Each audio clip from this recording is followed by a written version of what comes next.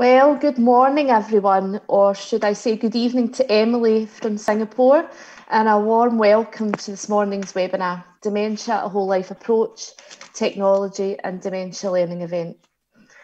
This is the Life Changes Trust second in their series of collaborative learning events, so look out for more announcements coming soon.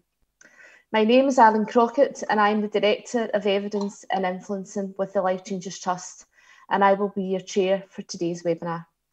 So before we get started, I want to go over some key points that were sent out to you in your joining notes.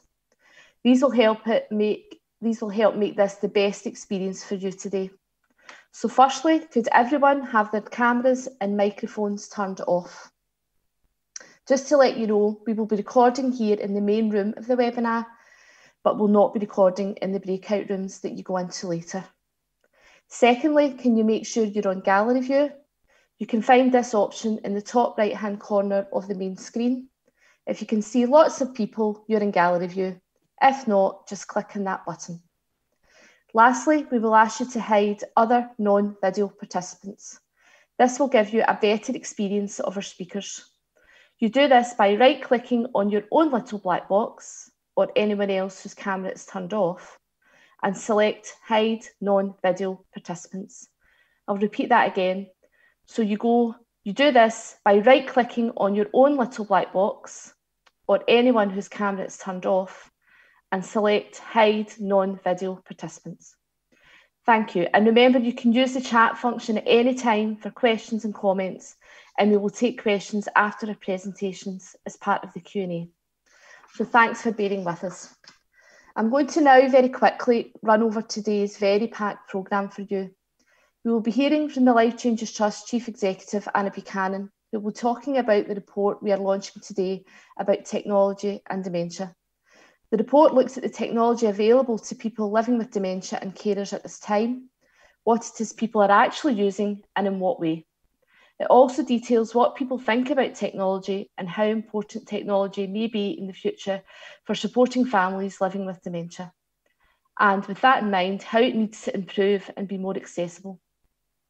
Gillian Fife, who is Head of Digital Alzheimer's Scotland, will introduce us to Adam, a brand new online tool which supports families living with dementia to find the right technology for them. This will be followed by Joyce Gray, who will update us on the digital work by Alzheimer's Scotland. Dr Donald Macaskill from Scottish Care joins us to talk about the importance of considering human rights and ethics in the development and use of technology and digital solutions to care. Later in the morning, there will be time to find out more about the different types of technology from the digital team at Alzheimer's Scotland during the SOFA Solutions breakout sessions. Today's webinar will also hear from Jerry, who is living with dementia, and Moira Murray, who will talk us through their experiences of using technology. And Ron Coleman will also join us to talk about how he uses Alexa to support him. And so, yes, a very packed programme to enjoy today with time to ask our speakers questions in our Q&A section later this morning. But first, let's get started with a short film featuring Henry Rankin, Pat Woods and Geordie McGonigal, all who have a diagnosis of dementia.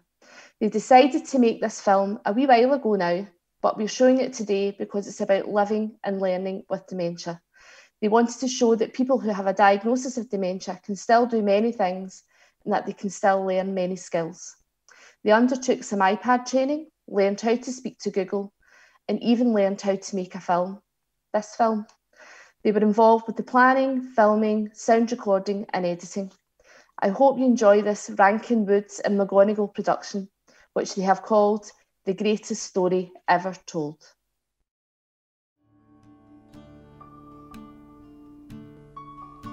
My name's uh, Henry. Um, I have uh, vascular dementia. My name is Pat and I've been diagnosed with Korsakoff psychosis. My name is Geordie. I've got vascular dementia, the same as Henry. When I was first diagnosed uh, with dementia, I didn't want to talk to anybody. I didn't want my friends to know that I had dementia. People come to the house and you're sort of the third person. That's they right. don't talk to you, mm -hmm. they talk about you. If they saw you, they would cross the other side of the street. stop this.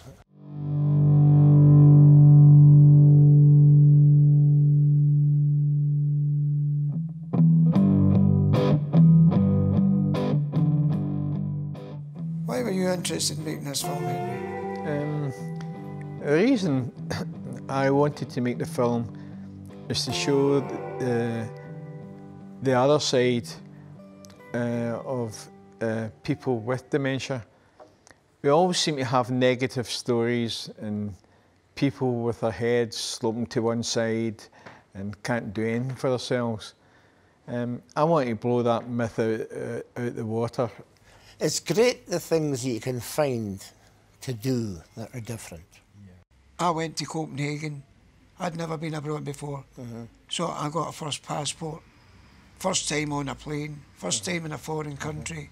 And everything was first. I, I would never think uh, doing something like that, you know. That, uh, the whole experience, a four day trip, and uh, the whole experience was brilliant. And I met some lovely people. Yeah. There were people from all over there. Yep. We laugh, we joke, and we can do things. And I, I think um, with um, doing iPad training, I think you'll see uh, how we can actually use an iPad to our benefit as well as other people because it means we can keep in contact um, with group members or, or family.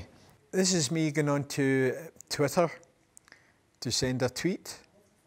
If you go to the right hand corner, you've got uh, it's like a notepad and a quilt. Just press that, and I'll send my message. It won't matter at this point. Any writing tweet to me. When you've opened the app that you wanted, You laugh and joke together. So you can laugh at yourself. Exactly, you know. You know, if you make a mistake, uh, But we shouldn't be frightened to make a mistake. That was a, another thing. Yeah. We, we all make mistakes. In fact, show me a person who hasn't. What happens if that comes up on your screen? Yeah. You just Go back. Yeah, the back button's good.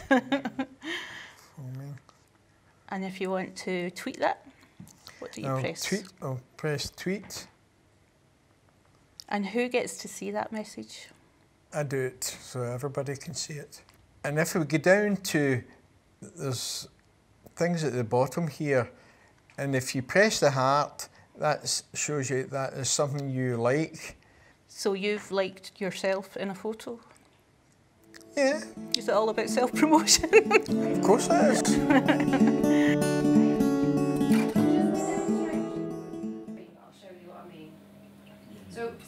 one of the apps, I'm going to pick one that's on the bottom row. I can open one I of them think just by what it. makes this group far better than a- any other group is the laughter. You're still learning. You can still have fun, and they actually make it fun. If we are asked to do something, we'll do it. and We'll do it to our best ability. Very good, yes, Catherine. Very good. We're challenging ourselves. Can we learn new things? And it's, it's, it's good to do that. I think if you sat down and you did nothing, uh, you would just fade away. I've learned to use computers and email and things like that, and I never knew anything about these things before. I like going back in time, for want of a better expression, uh, when you can look up your school days, your old school, the place you used to come from. At my door, I did you pour water in? And I went, no, Mummy. I opened the window, no, it was soaking, you know, the legs. The windowsill was soaking. so you go into photos and you've created the wee memories Memories. file. And you found this photo. Were you just searching? I was just uh, browsing about and I came across this. It was a day out as well as a competition between the two colleges. So at the, that time the weather was a whole lot better, seemingly, seemingly. And I remember the first time I sent an email to my daughter, and she got a reply, said, well done you. It's, if you have good people and are willing to spend a bit of time, you can improve yourself a bit. instead of just uh, Yeah. accepting everything and going downhill. And Made a lot of friends, good friends. Um, and as we've covered already, um, people are not judgmental. Um, also, you, we see new faces. And um, if I've ever got a problem, the group that I go to in Falkirk, I always can raise it, Yeah. you know, and somebody will say, I've done that because it was difficult to get help. I think what you find is there's laughter. There's, There's a lot of laughter in these groups, Yeah. and people think, "What the heck's going on there?" Aye. And when they find out, it's people would say, "No, surely not. That- Why? Exactly right. Why not? We're the same as MD else. Uh, Uh-huh. we've got a disease called dementia, Yes. um, but within ourselves, we're still the same person. of course you are. Um, Um, I'm going to show you a very clever little trick that I got shown. I discovered that I had 1,750 emails on the on the, the iPad, and I thought, no, I must get rid of these. I So press into on your mail. a mail, and um, I pick a whatever An email that you're not so fond of. that, that I hate, actually. and then all you do is actually you place this rubber tip thing to the right hand side of the email, draw it across, And it deletes. And it also deletes permanently. this is it. There's a lot of firsts. I was, I was asked um, uh, if I would like to um, do a bucket list. Uh, it was something that um I, remember Alzheimer's Scotland said to me, "Well, "What's the ten things that you would love to do?" Uh, my last one was to ride a horse, and uh, it was like a big kind of cart horse. I could hardly get my legs round on the saddle and my legs round it. I had a sore backside uh, for a couple of days after, but it was an experience. The thing that uh, affected me more than anything was the fact that I had the hand in my car keys. Because that was immediate a, a, ch- a challenge, you know, because I'd never used buses, because I've been lucky enough to be able to drive everywhere.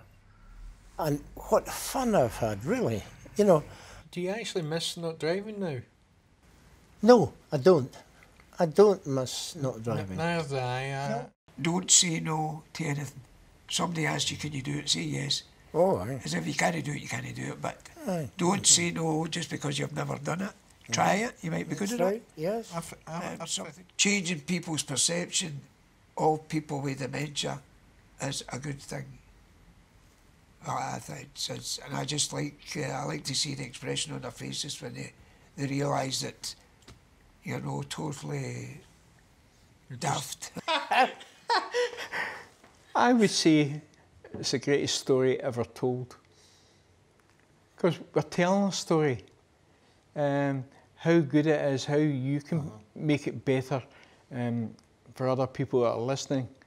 I like that idea um, just to prove, prove a point. You should be t- recording now.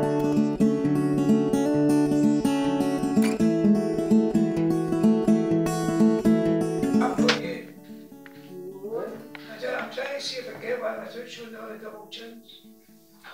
Is that me you're talking to? No, it's me. we never had this trouble with folks, did we? I tried to get out of um, doing the dishes. I said, "Look, I've got, I've got dementia." my wife, my wife says, "Yeah." I said, "But it doesn't stop you doing the dishes." So see, I've done that with hoovering.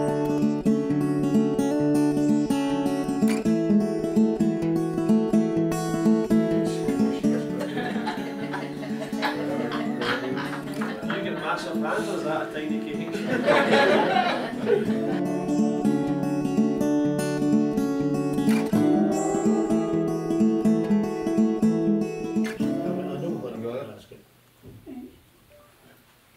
Google, hello George. I got a carpet. That's his best features.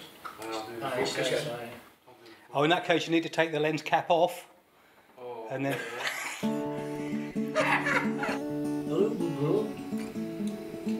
Agaric carpet. What does that mean? Hello? No, no, it's, do you speak Gaelic? I think someone's telling you that's a bit your best side. He dies tonight. but it'll be quick. a garlic carpet. Here is a match video. What does it say? I'm, I'm going out addict. Okay, so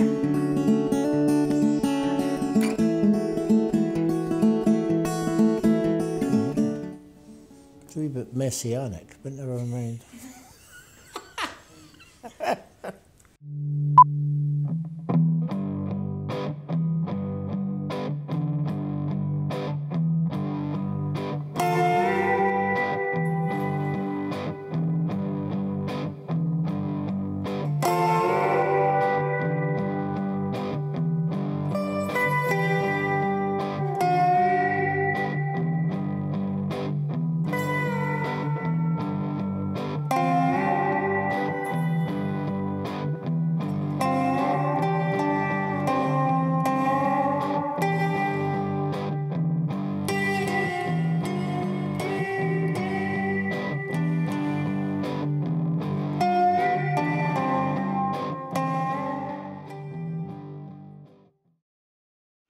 Well, what a fantastic film and some lovely comments um, already coming through the chat from folks.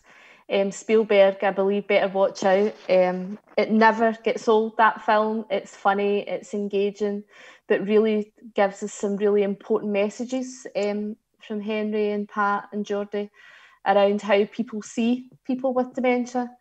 I think for all of them, it wasn't just about learning to use the technology, but how they could use it to keep in touch with family and friends, to, you know, enhance their activities, you know, at home and abroad, and also just that wider connection. So, um, without further ado, I'm going to move on to our second speaker. Um, we're joined by Anna Buchanan, who's the Chief Executive here at the Life Changes Trust. Anna will be talking us through the report we are launching today, Dementia Check Technology, funded by the William Grant Foundation.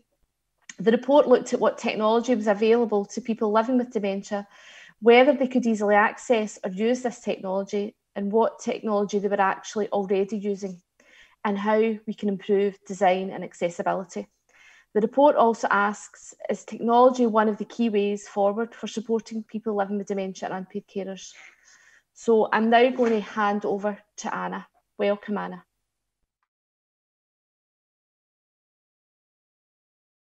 Hello, everyone. My name is Anna Buchanan. I'm the CEO of the Life Changes Trust, and I would like to thank you for joining me today to look at a recent literature review and qualitative study that considers the topic of dementia and technology.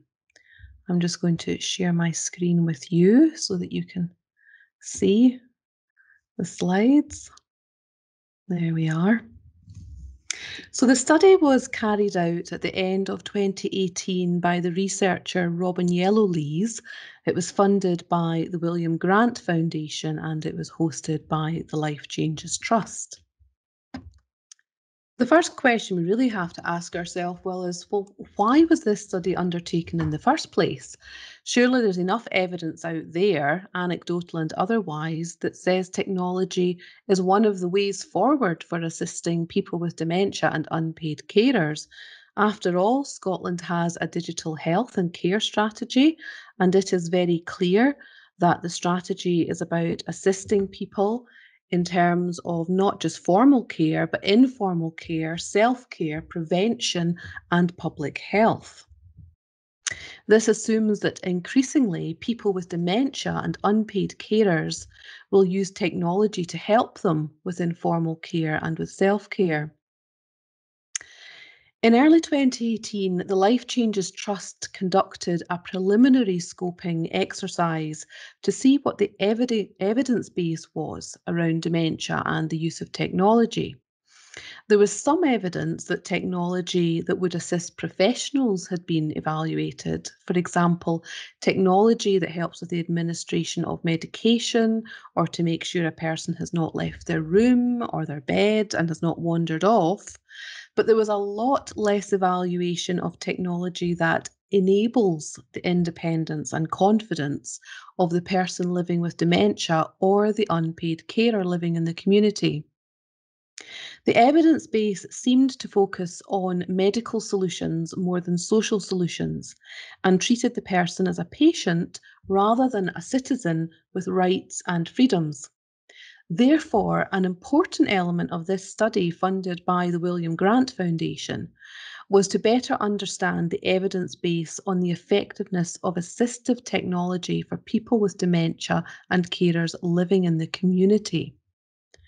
We know, and many of you will know this, that people with dementia, their families and friends have often reported anecdotally that assistive technology is enhancing their quality of life and their independence, and it is helping carers to care for longer, which means that people with dementia can stay at home for longer, which is where people need to be. Lastly, but really of first importance, this study is about hearing from people with dementia and unpaid carers firsthand about their experiences of using or not using technology and having a record so that others like you and I can draw on that evidence and add to it and use it as a baseline for discussions, for example, today. So the first element carried out was the literature review and we need to ask ourselves what did that literature review tell us? So, as Robin conducted the literature review, it was a bit of a challenge, to be honest, to find robust research findings about assistive technology. And where she did find research or evaluation, sample sizes were very small, usually far fewer than 20 participants in the trial or the research. The majority of studies had not included people with dementia in their research at all. And most of the research was carried out on prototypes and trials of products that were not available on the market. So at the end of the day, the research was of very little practical value to those who might want to purchase those products had they been shown to be good products. The literature review also told us some other things. If you read the full report, which is on the Life Changes Trust website, you will see that the literature review found that people with dementia and unpaid carers are largely unaware of how technology can help them. The studies carried out to date have focused on decreasing risk, for example, through the use of devices for monitoring or surveillance, such as sensors or GPS tracking. Devices are usually designed to stop something going wrong, to prevent scalds, gas poisoning, fires, floods, or injury. The literature review showed that carers were grateful for technology that took some of the stress away from their daily lives, and some reported an improvement in their quality of life. People with dementia found GPS trackers either worn as a lanyard round the neck or as wearable technology such as a watch to be very enabling. This was particularly the case with people with dementia who are still very physically active and who want to be out about, out and about, for example, going on long walks alone. Other findings were that people prefer technology in the home to blend in and not appear to be medicalised. Call blockers were, wel- were welcomed for reducing the likelihood of someone being scammed, and simple devices that help with orientation, for example, what day is it? What time of day is it? Is it the afternoon? Is it the evening? Is it nighttime? Those things were very reassuring. People also appreciated technology that helped them find things, remember things, or make existing technology, such as phones and TVs, easier to use. On the subject of scams and call blockers, the Life Changes Trust um, funded work on this with three Scottish councils East Renfrewshire Council, South Ayrshire, and Angus. The valuation findings from that work, which are quite impressive, are on the Life Changes Trust's website. So the focus groups were the second part of the work that Robin carried out. And obviously I'm just giving a brief overview here for the full um, report. You, you need to read that um, for yourself. So Robin set out to hear directly from people living with dementia and unpaid carers. There were six semi structured focus groups that were conducted in three locations across Scotland. Um, an advertisement for participants in the focus groups went out nationwide, but these were the organisations that responded. PKAVS in Perth, Perth and Kinross Association of Voluntary Service. Our Connected Neighbourhoods in Stirling and Cairtus in Kirkintilloch. In each location, a focus group was conducted with individuals with dementia, and there was also a separate focus group with carers. The study had been advertised broadly as focus groups discussing opinions about assistive technology use. However, participants didn't have to have assistive technology currently in use in order to participate. So there was a selection of people who were using um, technology and people who weren't. So a, a selection of just normal people doing normal things. The participants included 13 people living with dementia and 14 unpaid carers ranging in age from 46 to 90. Of those with dementia, two individuals were considered to be in the early stages of dementia, eight in the moderate stages, and three in a more advanced or severe stage of dementia. Group members were given some pictures of assistive technology to prompt discussion although it didn't take too much prompting. And focus groups lasted around one hour. Participants were given a gift voucher as a thank you for their contribution. So the groups were asked questions such as What technology do you use? What is good about it? What is not so good? Why do you think people might not want to use technology? Have you ever decided that a piece of technology is not helpful before trying it? If you tried it and it didn't help, why do you think that is? Is there anything that can be done to make using technology easier? And if people who design technology were to focus on one or two areas or problems, what should those be? So, what did the focus groups tell us? Well, it transpired that focus group participants were already using quite a range of technology, although they might not have recognised it themselves. So things like community care alarms, call blockers, baby alarms, GPS mobile apps, satellite phones used like a walkie talkie, um, drink reminder alarms, so quite a range. Many participants were very open to the use of technology a key point to note was that participants really benefited from sharing information within the group and hearing about other people's experiences. Now, those of us who worked in the dementia world for quite a while know that that element of peer support is, is just gold. It's so important to have that exchange of information. There were feelings of eagerness to engage with and find out more about the options available, and this came through in questions that focus group participants asked their fellow focus group participants. They wanted to know how they'd found access to assistive technology. They wanted to know what did it cost? Was it useful? And um, there was quite a lot of information exchange. Someone even said to one of the other participants, Well, I found it a bit useless, but do you want to have it and try it? So at each focus group, the information exchange was very prominent. A high number of participants said that they felt safer and reassured by the technology they used. And also, they said that their wider family saw the benefits of the technology that was being used. And there was a general recognition that yes, technology can definitely reduce anxiety for all those involved. However, there was also a view that technology can be too complex, particularly in relation to setup and ongoing operation. Sometimes buttons are too small or the device is too sophisticated, especially for someone who is beyond those earlier stages of dementia. One person said it's just far too finicky if you've got arthritis, And someone else said, well, the power switch on that is absolutely tiny. You need a nail to switch the thing off. So this could lead to feelings of frustration or anxiety. But there were three key factors that really came through in terms of engagement with technology.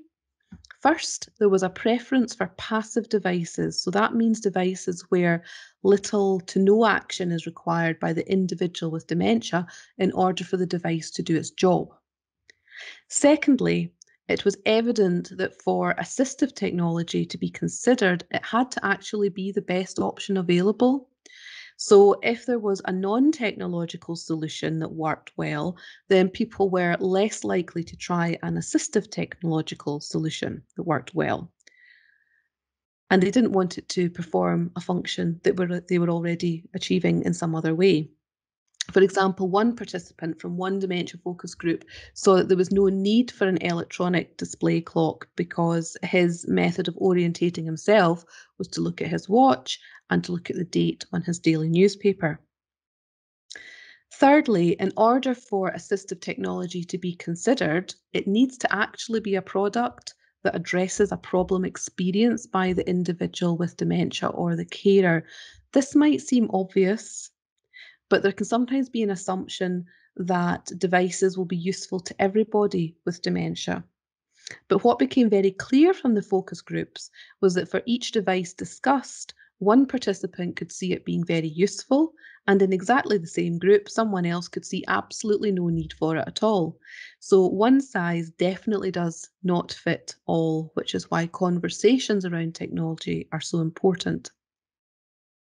Some barriers to engagement included lack of knowledge about the product's existence, lack of familiarity with technology in general and technological concepts. Quite a few folk made comments that they have to stop thinking that technology is just for younger folk and can't be understood. Also, as dementia progresses, there can be a marked de skilling for the person affected.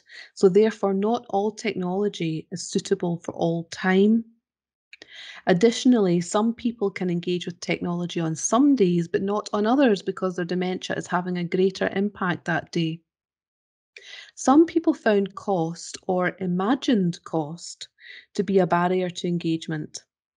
A number of carers said that they don't have time to consider new technology and it could be an extra complication on top of everything else they are dealing with. One or two carers said the person with dementia wouldn't engage with the technology because they were struggling to acknowledge that they had dementia in the first place. So, timing for the introduction of new technology is also a crucial factor. When people are asked how to make it easier to use assistive technology, people in the focus group said first and foremost that they need more information in a format that is easy to understand. The information needs to be presented in manageable chunks and at an appropriate pace. They want to be able to see and hold products before buying them. So, seeing and trialling products is important, and this is something that has already been introduced by Alzheimer's Scotland's Dementia Circle, which can be found on the Alzheimer's Scotland website if you'd like more information. Focus group participants emphasised the need for ongoing support from friends and family and from manufacturers. Many children and grandchildren were given applause at this stage in the focus groups. In terms of the development of future assistive devices, people talked about a need for some kind of assistive software that could simplify nav navigation on a computer they also talk about, talked about simplified dementia friendly apps that help them to actually use the tablet or the phone that it's on. So, not an app that does something apart from the device, but something that helps someone to use the tablet or the phone. Participants also spoke about more products for entertainment. Um, and a comment was made that previously enjoyed pastimes were being left behind due to the progression, progressing symptoms of dementia. To have a much deeper understanding of what the focus groups spoke about and the findings from those groups, um, recommend that you read the report that's on the Life Changes Trust's website. So a report is all well and good. What about the next steps? Since the publication of the Dementia and Technology report, like all of you, we've been hit by COVID 19. So, our original event for promoting it and for discussing technology more broadly had to be postponed. However, we're holding this online webinar today, and we hope it will also be viewed by many people after today when the video record of, of what we discuss is put on the Life Changes Trust's website. What I hope will come from today is that there will be more discussion about what strategies can be put in place to address this real lack of information about available technology and the barriers to engaging with it and accessing it. The research funded by the William Grant Foundation provides us with a really solid baseline for doing this. We also need to discuss today how we can encourage technology developers, producers, and retailers to recognise the enormous market that is out there for such technology, and also the importance of co designing technology with people with dementia and unpaid carers so that it is the best that it can be for them. Generally, I think we'd all agree that we all need better support to use technology. It's not just the case for people with dementia and unpaid carers. Um, we need to know more, we need to understand more, otherwise, we're not confident to use it. Scotland's digital health and care strategy probably needs a slightly stronger evidence base so that it can undergird the ways in which it says it will be supporting people with dementia and unpaid carers. And it's our view the strategy needs to be an enabling strategy and not just focused on risk reduction. Lastly, and this is something that will be examined in far more depth by other speakers today, I am sure. It is of paramount importance that technology enhances human relationships rather than replacing them. Technology should never be seen as a quick way of reducing staff costs or dealing with the so called problem of dementia. That is the wrong perspective entirely and is a very slippery slope. So I'd like to thank you for listening. In a moment, you're going to hear from some of the participants in the focus groups that Robin held, and I hope that you enjoy the rest of this webinar and the rest of today. Thank you. Hi, my name is Robin Yellowlees from the Life Changes Trust and we were interested in how individuals with dementia and their carers engage with assistive technology. There was about three different technologies being used within this room for people trying to locate the people that they look after. And everyone had its upside, everyone had its downside, but together people found the system that could be ideal for them, and that was a great thing. My husband, having come into this room on his own, uh, and even when he was next door on his own, when I came back through, he was in deep conversation with someone, and they found out that they had a long association with Boys Brigade. And the more we're talking with people, the more you realise how much we have in common and how much we can share and, and help one another. We found out a lot from our focus groups. Uh, one thing that came up over and over again was that no two dementia journeys are the same and therefore no technological solution is the same. And one thing that might work for one person wouldn't work for another. Often we found that people preferred passive devices, so devices that required no action by the person with dementia. These were things like community care alarms, GPS technology, uh, electronic uh, displays that tell time. I find it very helpful because uh, I have early Alzheimer's. When I came here today, people I hadn't met before, right? And I find it a very, very good thing. You're getting to know gadgets you could use all these different things for Alzheimer's to use. We found several barriers to people taking up assistive technology. These were things like uh, not knowing much about it, being worried about if they could afford it, um, also worried that they might not have enough time to learn it, and then individuals with dementia being resistant to admitting that they needed an assistive technology device. Participants consistently told us that they wanted to be able to attend workshops and exhibitions where they could pick up and hold products and then perhaps trial them before having to purchase them. They also wanted the instructions for products to be simple and not to be overwhelmed with uh, a large amount of information all at once. There was no feeling of, uh, you know, holding back or anything, and people were, were very honest with it, about their opinions. We're so grateful to everyone who took part in our study. When it comes to dementia research, it's so valuable to have both the opinions of carers and individuals with dementia.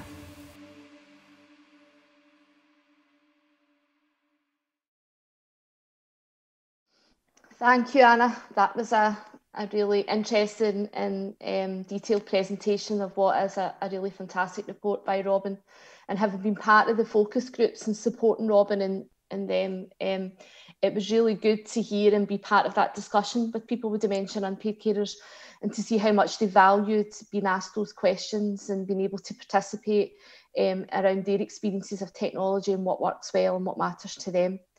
Just a quick comment from the chat um, from Emily from um, Singapore, who said that the result from the focus group is so empowering. So a big thank you to everyone involved. And I think that is a clear message is that, you know, that collaboration, giving people the chance to talk, discuss and debate is a really key part of research in terms of involving people with dementia and unpaid carers. And I think that the strong messages around the involvement both from the existing technology and their feedback, but also in how we design and develop new technology um, alongside people with dementia and paid carers. A summary of that report and the full report itself is available on the website of the Life Changes Trust and it will be posted in terms of the post-event email that we send out next week, so there'll be a link to that on that. Anna will join us later for our Q&A section, so um, please, please feel free to put questions on the chat function. Um, we encourage you to do that throughout the webinar and also during the coffee break as well. So it's now time to hear from Dr Donald Macaskill, who's the CEO of Scottish Care, about how to make technology human rights real. Donald has worked for many years in the health and social care sectors across the United Kingdom, specialising in learning disability and older people's work.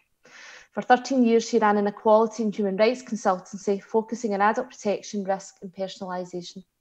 Previously, he worked in the early development of patient focus and public involvement work, the development of self-directed support, and before that worked in higher education. Donald is now going to talk to us about the importance of considering human rights and the ethics in the development and use of technology and digital solutions, and the importance of accessibility and connectivity. So I will now hand over to you, Donald, and welcome to this morning's webinar. Thanks, Arlene. And it's great to be here, even if not physically present with everybody. And thank you to Anna for her words. As has been described, I ran a human rights organisation for a number of years but long before that, I've been a little bit of a tech geek. I've always been interested in technology, probably since the age of 12, when I was taken to see at that time one of the fastest computers in existence in Scotland, which was in a room at Glasgow University. And I do mean in a room at Glasgow University because it took up the whole room.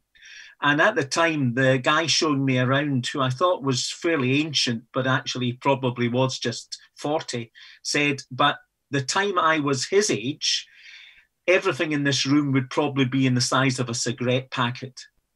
And years later, as people this week have explored the possibility of the iPhone 12, the truth of that and the truth of the reality that what that computer could do in that room can now be done a trillion fold in addition by that small iPad is unbelievable.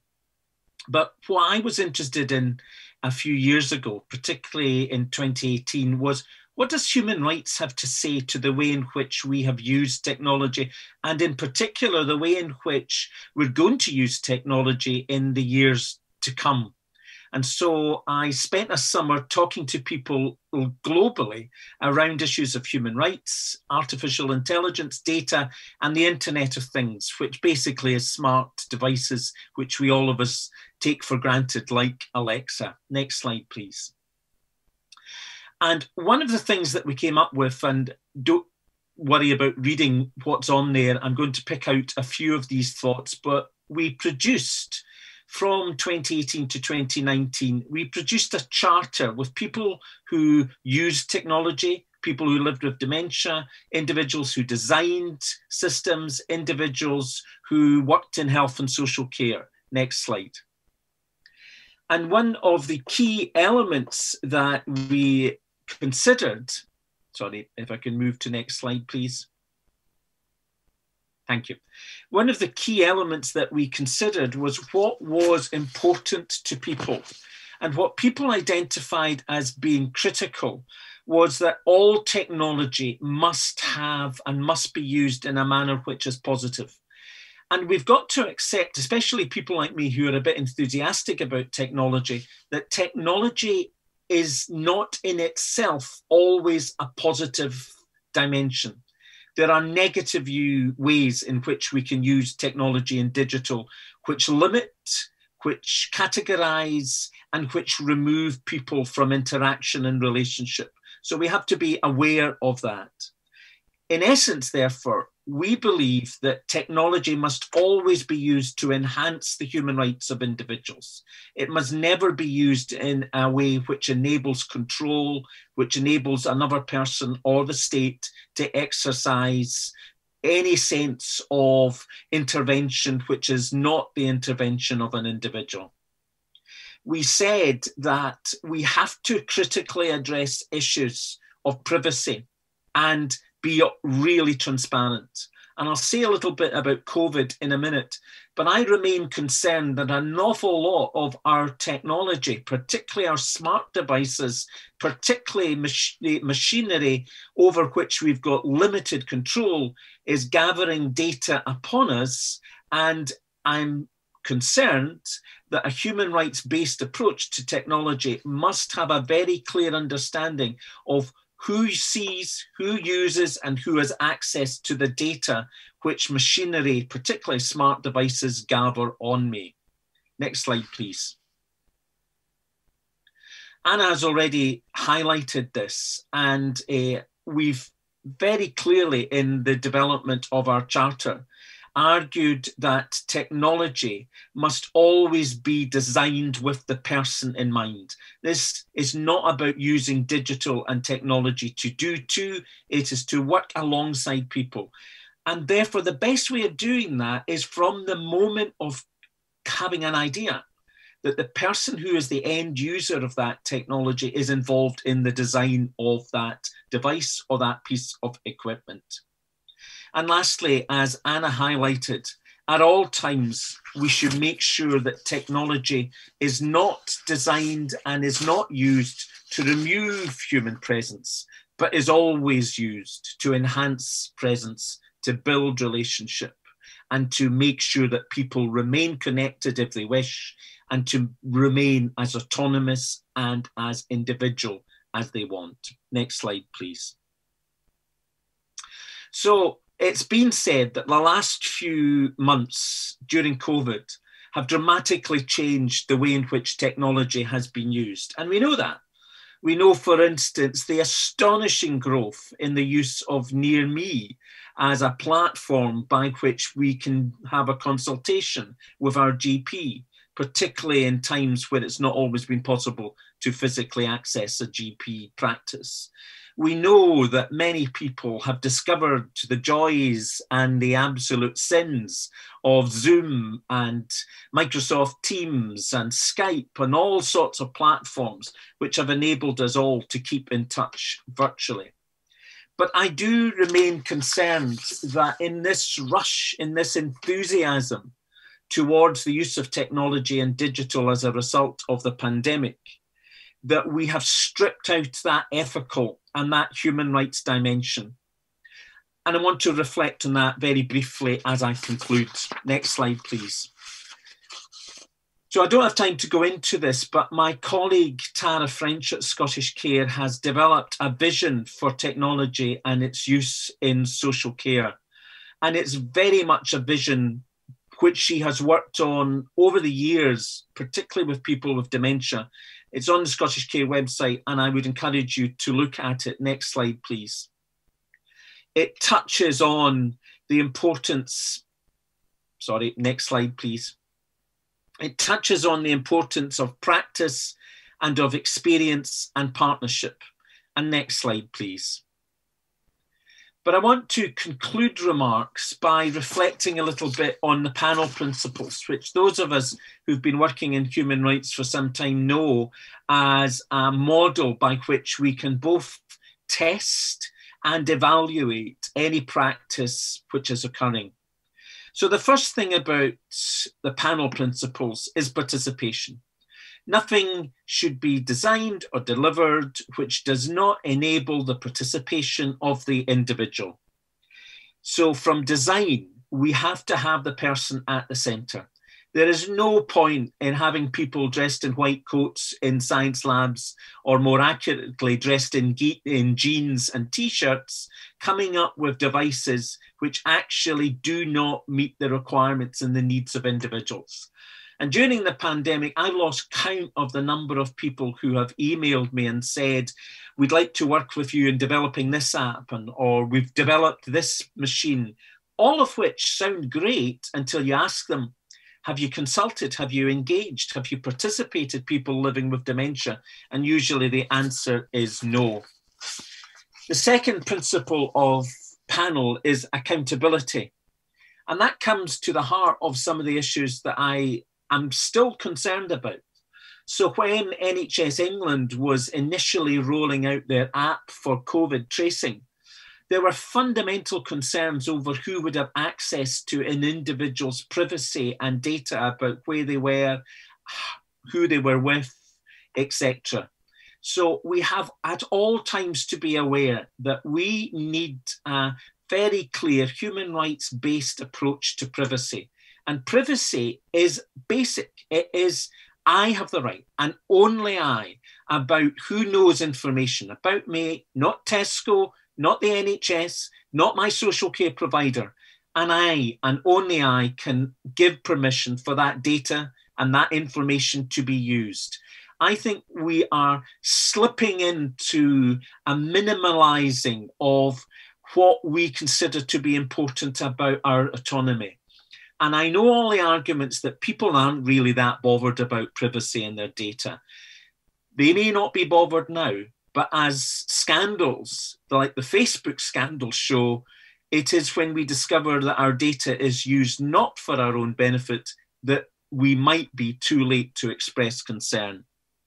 Critically, PANEL is about non discrimination. We must treat people regardless of their characteristics. We cannot use technology in a manner which ill serves an individual because of their ethnicity, their disability, or their age. And I've got real concerns that in our rush to be enthusiastic about digital and technology, we fail to recognize digital poverty. We have massive issues in Scotland around digital exclusion. And it's not just an age, because we have more people under the age of 25 today unable to, to have access to smart devices than we had 10 years ago. Lastly, technology must always be about empowering within a framework of legality. It is about giving you control and autonomy and choice. And the last slide, please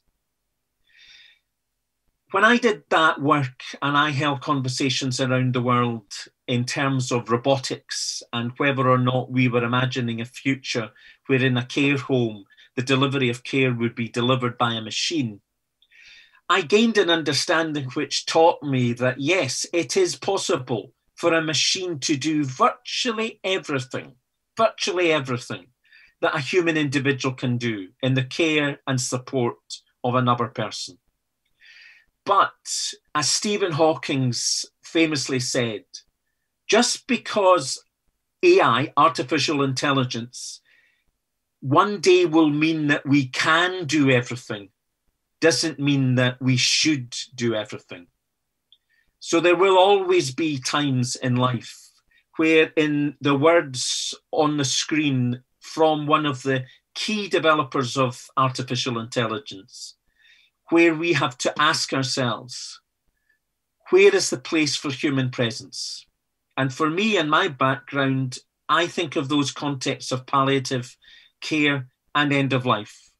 Yes, a machine can hydrate me. Yes, a machine can keep me motivated, can help my memory. But do I want a machine to be present, to be the only presence at the end of my life? It can, and it probably will in the future, be able to hold my hand. But do I want a hand which is mechanical and cold, or a hand which is alive and real to listen to my story, to hear my life, to feel my pulse? So, a human rights based approach to technology always has the personal, the relational at the heart. We must always embed a rights based approach. Thank you for listening. And thank you, Donald, for joining us today. Again, as always, a really um, important message there um, around the use of technology and balancing that against the human rights of individuals and seeing people as people, and that technology really is about that added value. Um, I think there's some really strong key messages within that presentation that will all give us food for thought and really some key learning in terms of taking some of our work forward. Donald's presentation, I'm sure, will be shared in our post-event email, and I know that Andrina has put the link to the report that he referenced in the chat as well. I think um, we have to say goodbye to Donald. Um, so a huge thanks again, Donald. I know that you're a very busy man and I got a very packed schedule. So um, please, a big thank you from us at the Life Changes Trust and from the people that have joined the webinar today for a really inspiring but also um, a really important presentation around what we need to think about in terms of a human rights based approach. So now um, it's time to hear from Gillian Fife, who's Head of Digital at Alzheimer's Scotland. Gillian has been employed with Alzheimer's Scotland for over four years in various digital and technology roles. She became Head of Digital in November 2019. Previous to this, she worked for the Council for Voluntary Organisations in East Ayrshire as strategic lead for social enterprise, building third sector organisations' capacity in social enterprise development and employability. Gillian is joining us today to introduce us to ADAM, a free online service which helps you to find technology products tailored to your needs and preferences. I'll let Gillian explain. Over to you, Gillian.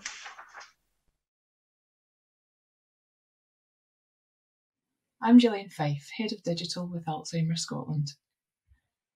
Today I would like to tell you a little bit about ADAM, which is a new product that Alzheimer's Scotland launched last week. It was Alzheimer's Scotland's 40th celebration last week, celebrating 40 years of supporting people living with dementia, their families, carers, and, and their community. And part of that celebration was about the innovation that's happened in those 40 years we looked at things like dementia advisors, like post diagnostic support, like our 24 hour helpline, and then we moved on to looking at some of the digital supports that we've developed. Last week, we launched three new products and we launched an appeal for our virtual resource centre. The new products that were launched last week were an Alzheimer's Scotland app, which can be downloaded to your mobile phone and can be used to keep information handy that you might need day to day. The links that I'm showing you on the website will be shared with you after the presentation. The second product that we launched was Purple Alert. Some of you may already know about Purple Alert, which is our app which helps find people with dementia if they go missing. We encourage people living in the community to download the app to help become the eyes and ears if something happens, and families can raise an alert if someone that they care for goes missing. Recently, Purple Alert reached a milestone of having 10,000 downloads, and we decided it was time for a major design and functionality upgrade. So we've added new features which will help tailor content to you depending on where you live in Scotland and how you use the app. Both of these apps can be downloaded from the Google Play Store and the Apple App Store. But the one that I want to talk to you about for the rest of this session is ADAM which is about digital and me. And ADAM is a platform which helps you find the right pieces of technology at the right time. You can find ADAM at meetadam.co.uk, and once again, that link will be shared with you after my presentation. Alzheimer's Scotland have been working in ADAM for about nine months. It's been co-designed every step of the way by families living with dementia and by other practitioners who work in the dementia and health and social care sector. It was developed in response to a, a need. Um, people told us that they struggled to find the right time, the right the right piece of equipment. They didn't have the time to look for the right thing. They worried about making the wrong choice, not being able to go back and change it, only having one chance to get it right. And they worried about maybe being misguided by people who were trying to make a sale in a, in a pressured environment. So we decided that there was a need to put together a trusted resource that people could go to and find the right thing at the right time for them based on their own particular circumstances. The development of Adam has been supported by the Technology Enabled Care programme from Scottish Government.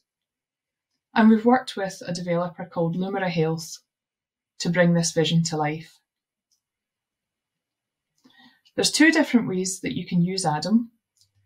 You can browse the product catalogue, and if you can see my mouse there, I can just click on the browse icon. And you can see that there are lots of different products here that you can have a look through.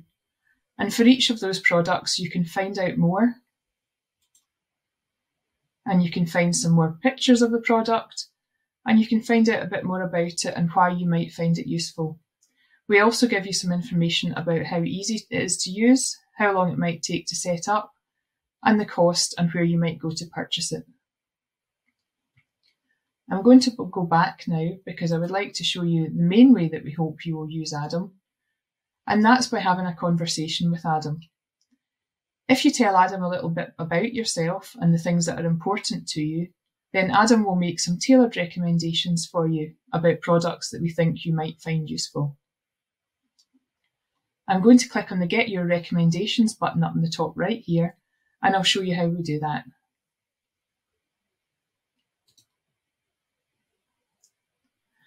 So first of all, you'll see on the left-hand side here, we've got several categories. The first one is a little bit about you so that we can find out some kind of baseline information that helps us to determine which products might be useful for you. And Adam also introduces themselves to you. And you'll see there that if you could hear them speak, they might be have a Glaswegian accent, even though they've spent a lot of time in Edinburgh. And they're also a dog lover. So we go to next. And then it explains that it just wants to build up a little bit of a picture of who you are and how you can, how, what kind of things that you're interested in so that Adam can help you. So I'm going to click on Let's Get Started.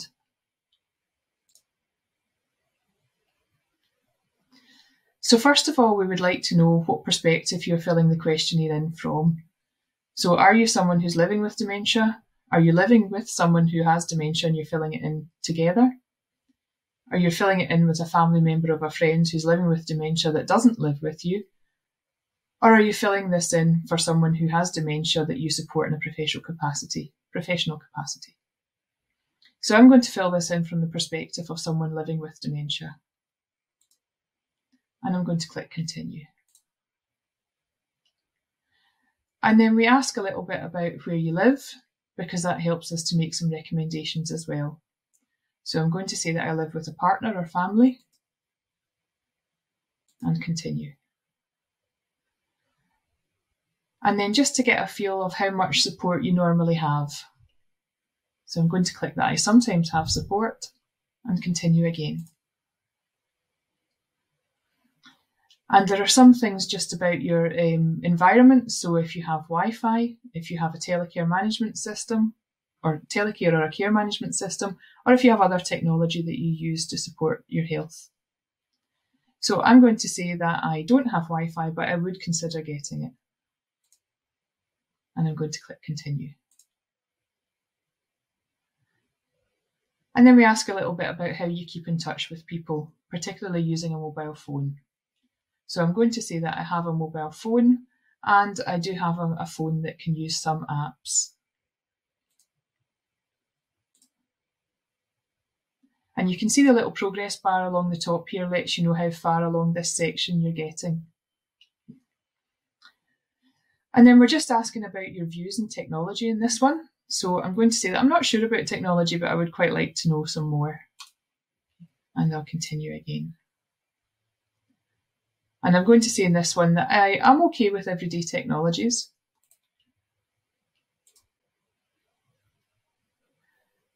And I'm going to say that I would like to do as much as I can by myself. And then we ask a few questions about who's round about you who might be able to help you. So the first one asks if there's someone who lives with you who's confident with everyday technology. So I'm going to say yes to that one.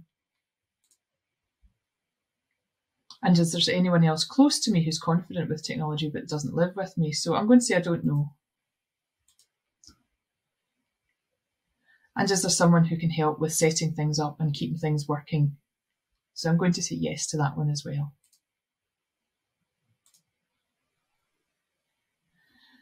And then we like to know a little bit about some of the challenges that you're, some things that you're finding a little bit more difficult. And again, that's just so that we can tailor our recommendations for you at the end of the session. So I'm going to say that I want some help with misplacing objects. I would like some help to remember things. And I would like to simplify my environment. And I'll continue there. So that's me. I've completed the first section, the About Me section. And I'm going to go on and complete one of the other sections so that I can show you how you get the recommendations from Adam. So I'll click continue. And I am going to choose that I would like to have a safe and happy home. And I'm going to fill in that section. You can fill them in in any order, so you can choose the ones that are most important to you first. So I'm going to now go to Let's Get Started. And I'm going to say that things could be better if I had help with using all of my house and my garden and outdoor space and reassuring my family that it's safe for me to live alone. In fact, I said I lived with someone, so I'm going to say making sure my home is safe and secure to be if I am alone. And I'll continue. And has anything happened that's caused me to worry about home security?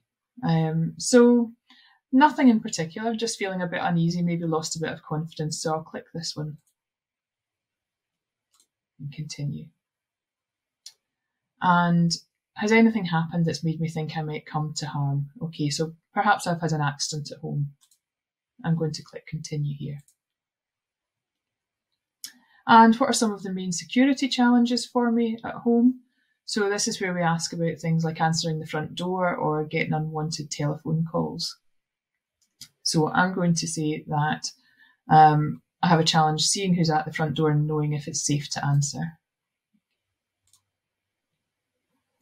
And this is about identifying any other risks that I have at home. So I'm going to say that I don't always remember to switch things on and off and having lights where I need them and coming on at the right time and I'm a bit worried about falling and getting hurt.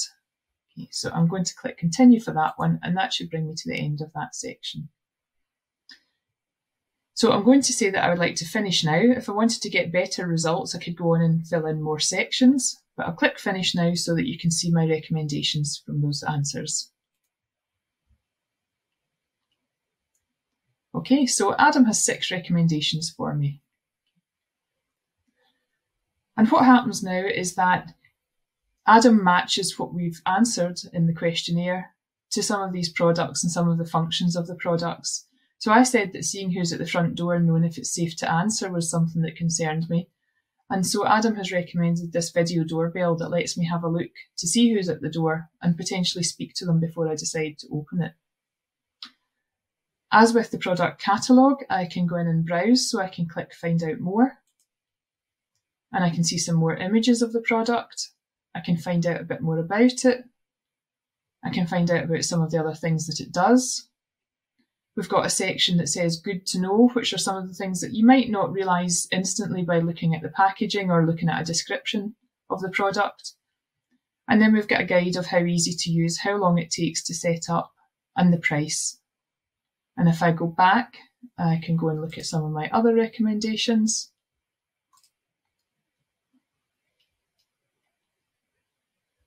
And there's the next one down is a plug that can be controlled from an app or a mobile phone or a tablet that would help me um, remember to switch. It would help me be able to switch things off from other places if I'd forgotten. So, for example, if I'd gone out without switching things off, I could use my mobile phone. And also if it's somewhere that the plug is hard to reach. And then we've got some options for some lights that can be controlled by voice or by an app or can be set to come on and off based on temperature or a motion sensor. And we've got an indoor security camera. And then this hub, which joins a lot of these smart home products together. And we've got a watch here that would allow us to keep in touch with friends and family so this one automatically can connect to your emergency contacts if a fall is detected. So that's the, the recommendations that Adam has for me. Um, this is our first iteration of Adam. So very soon you'll be able to log into Adam, create an account for yourself. So you'll be able to save these recommendations and you'll also be able to share them with a friend or family, someone who might even help you set these things up. We're really keen to know what you think of Adam. And there's a, a survey on the front page. If I just exit this and if I scroll down to the bottom of the front page, we would love to hear your thoughts on Adam. So there's an opportunity for you to leave us some feedback. And also, just finally, before we finish, I just want to point out that all of these products, which are on the Adam catalogue, have been tested by people living with experience of dementia.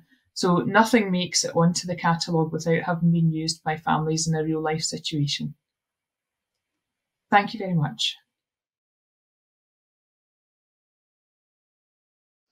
And thank you, Gillian. Um, and we look forward to seeing you again for the Q&A later after the break. So do put any questions in the chat um, for Gillian and for our other speakers this morning.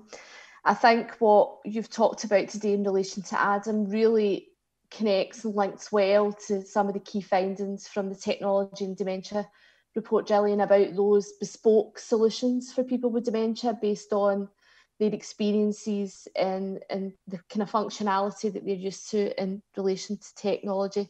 So really good to see that and, and to see that now being launched and um, being utilised by a number of different people in a number of different ways. So thank you.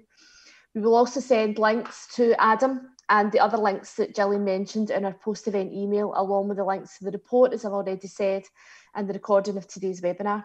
So it's now time to hear from Joyce Gray, who's the Deputy Director for Development at Alzheimer's Scotland. Joyce and I have known each other for, I think, about 10 years now, since Joyce joined Alzheimer's Scotland in January 2010 and I'm delighted that she could join us today to talk a wee about about what's new around digital in Alzheimer's Scotland. So Joyce, I'm going to hand over to you and welcome to you this morning. Thanks very much, Arlene. Um, doing this session live, I think I'm living life on the edge. I have uh, John in the dining room and uh, he's participating in a singing group. He's a community activity organiser with Alzheimer's Scotland and I can hear him and I hope you can because he's singing, um, well, I'll just leave that to your imagination. The teenager's upstairs rampaging in his bedroom, and uh, there's three dogs. So what I'm going to do is I'm going to actually speak to my notes because um, I think I need to keep myself on track. So thanks very much, Arlene, uh, for asking me just to say a few words today. And I really echo the stuff that um, both Donald and Anna have already said. And Gillian has highlighted one of the most amazing initiatives that we've been working on so here I am in my living room, uh, extolling the virtues of technology, which is very apt. And as others have said, I always preface our discussions around digital, you know, saying that we never want to replace our human contacts, but always just to augment them. But recently, uh, we've all had to prioritise digital over our human services, and we may have to continue to deliver services this way for some time. So it may be that some digital does allow um, for some amazing connections. like just now, as I know that there's songs to be sung at our music groups, new and old skills to be developed around personalised sessions, and maybe a new relationship to be kindled with digital, and one that we've been preparing for for some years. Um, at Alzheimer's Scotland, we've been working to incorporate the, the wonders of digital for six years, and we co-launched the Technology Charter in December 2015. I mean, that's five years. I really can't believe it's that long. And the Charter set out actions to help people access and use technology to support their health and well-being at home. And just exactly what Gillian um, was describing there and the, the work that we've been doing around about Adam, I think that that's a, a really big step in that direction. That the charter and the work that we're doing then led to our extensive Confident Conversations programme. And the team who are all on this um, event today and will be presenting later, you've heard from Gillian and Nicola and Charlotte, they literally train thousands of participants across Scotland on the benefits of citizen technologies and this led to the further commitment from Scottish Government around the Test of Change programmes that we're still delivering and that have led to all the um, innovation initiatives that um, we've been discussing. So as Gillian said, last week was really exciting. Um, we launched our first organisational app. We launched a newly designed Purple Alert Scotland. Adam was launched and the um, VRC Brick appeal um, was launched as well. So as I said, we've always wanted to meet and greet those we work for in their homes and in our bricks, brick, in, in our bricks and mortars uh, buildings. But just now the show must go on. We need to stay in touch. We need to widen this for those who are not connected and enrich the connections for those who are. Some of these innovations, Adam, the VRC and Purple Alert, are world firsts. And we are really proud that our dementia communities in Scotland are going to access and benefit from these and also help us to develop them. So our relationship with te- technology is growing, and our purpose is to shape it for good. And just as I finish, I've just always got an ask. I've always wanted to ask somebody to do something for me. And I would just ask that everybody that's on, if they haven't, that they would download the Purple Alert Scotland and help our community grow. And that's me. Well, thank and you, Joyce. Yeah. I managed to do that without any interruptions you did well, very well, and, and a call to action as well at the absolutely. end. So well done, you. You're absolutely quite right, and and good for you to have the platform to do that today. And I agree. I mean, you had a very busy week in relation to the, the launch, and it was exciting to see every day on Twitter what was coming next, and and that kind of drum roll and that anticipation. So brilliant to hear um, that then being delivered um, by Gillian today earlier to explain to folks what it's all about. So um, I'm sure people have questions and comments from the panel um, session after the break. So good that you can continue to join us, Joyce, um, for that. So it's without further ado now that I say it's time for a short break. You'll be needing a bit of a refresh in your cuppa or your cold drink. Um, on the programme, it is for 10 minutes. So we'll meet you back here then in 10 minutes um, for our Q&A. Enjoy your break and thanks again, Joyce. Thanks. Um, nice to see you all, and I hope um, you've got a fresh cuppa and um, a cold drink ready for our Q&A session. Um, and I'm delighted to see that we have Anna, um, Gillian and Joyce joining us today for our Q&A session. So I have plenty of questions for you all. So I hope you're ready. Um, and just bear with me because I'm working between the screen and the chat function. So if there's a bit of a delay from one question to the other, then um, just be patient with me. So Gillian, the first question is for you today. So um, people want to know, does Purple Alert link to emergency services? For example, the Herbert Protocol in England and I believe in Scotland as well holds information about people to assist um, people who are maybe lost being found quickly. Does Purple Alert trigger a similar response?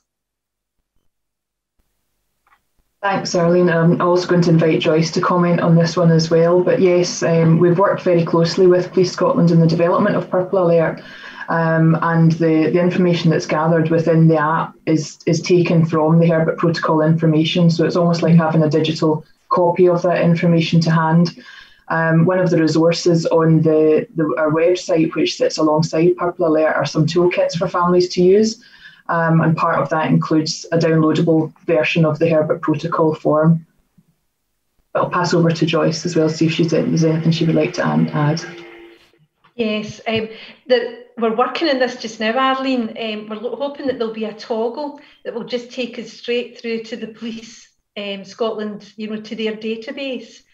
But if the person, um, again, it's all about permissions and privacy, if they agree for their data to be shared with Police Scotland and to be saved onto their database, we can do that just now for any existing missing occurrences. So if somebody goes missing, the police can actually help, it helps them to build up a, a picture of where previous um, incidents of where somebody might have been found, places they might have wanted to go. So we can already do that, but we're still working on the sort of iterations that the minute it goes off, it goes to Police Scotland. Because the way it works just now, I'm sorry for my lengthy reply, is that we would always ask people first to dial 999 and get that started and then press the purple alert so, but it's very much a collaborative process, and that Police Scotland's one of our biggest partners. Thanks, Joyce, and thanks, Gillian, as well. That's really helpful. So, Anna, the next question is for you. So, really interesting to hear earlier on about the importance of human rights based approaches to technology. So, is there a balance then to be struck between human rights and using something like GPS, for example? Um, I have to think about if it was for me, you know, or for others, it might feel like that sense of people being watched or that Big Brother's watching you. So, so what's your view on that? Well, as with almost every human right, um, there's always a balance to be struck, isn't there? Yeah. Um, I know that when um, one organisation um, was looking at this in the Highlands, they actually got some legal opinion from a barrister. And what he had said was that as long as there was an understanding developed and written down between the person using it and the person who was monitoring it that it probably was human rights compliant, but it's a grey area. I think it depends on the person's um, stage of dementia. It also depends on whether the person who is using the GPS has power of attorney for that person as well, because then they make the decision. But the balance is about loss of privacy against enabling. Just like it is with all of these things, we all sacrifice bits of our privacy in order to get something else. You know, we see it with this kind of thing.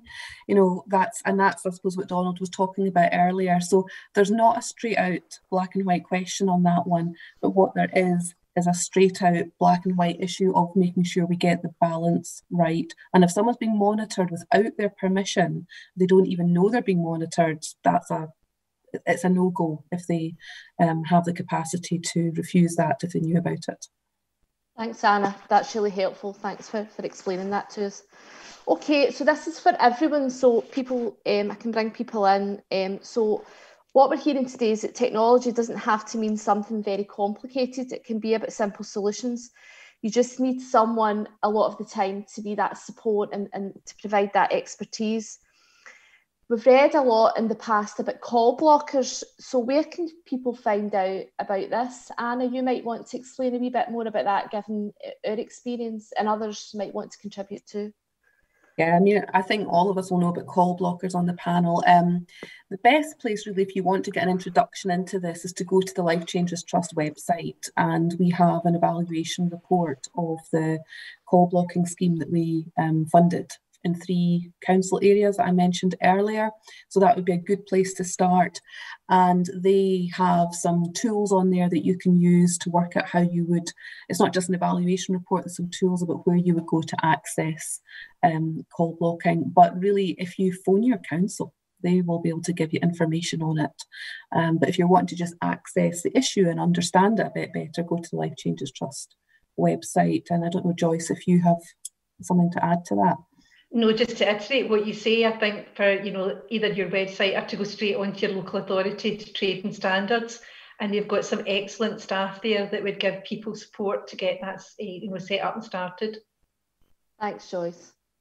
Okay, so now Joyce, one for you. Um, your overview was really interesting earlier and good to see some of those initiatives that you've been working on for a long period of time now starting to come to fruition.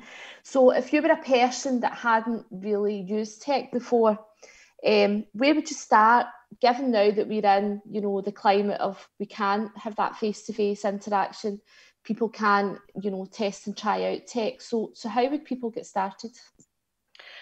Well, for me, um, I have a teenager. So I don't know if anybody's got any teenagers that they can access because they're a very helpful and reliable source of information, um, how to get started and how to get, um, you know, some apps and some, you know, of bits of kit that might be very helpful.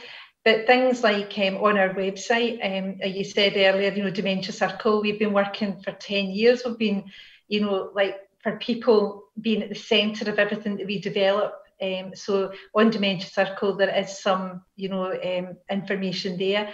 And now that Adam is here, um, he's going to be an absolutely tremendous help for people to put in questions where they think that they might have vulnerabilities and that they might want to um, use something and uh, use Adam.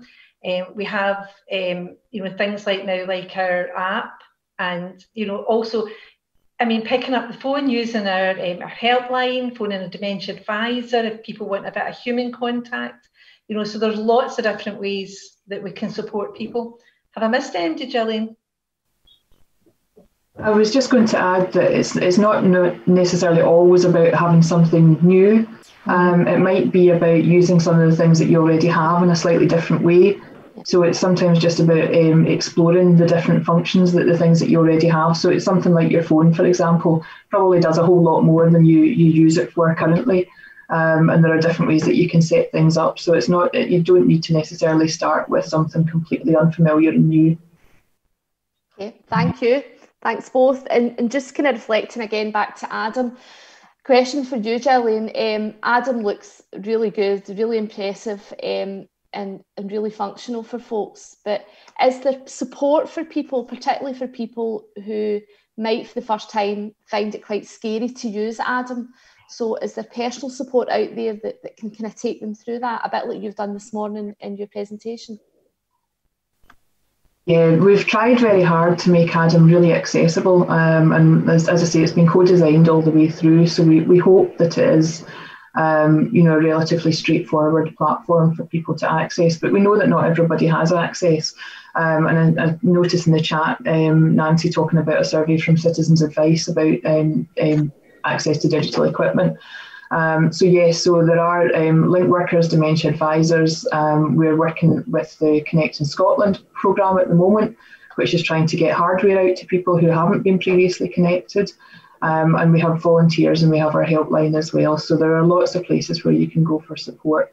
Um, and also, if you want to, you can you can complete Adam from the point of view of, of being with someone and helping them as well as being the, the individual. Um, all the questions are, are um, focused on the individual themselves, but you can you can work through it with someone. Great, thanks, Gillian. That's really helpful. People will appreciate having all those different options.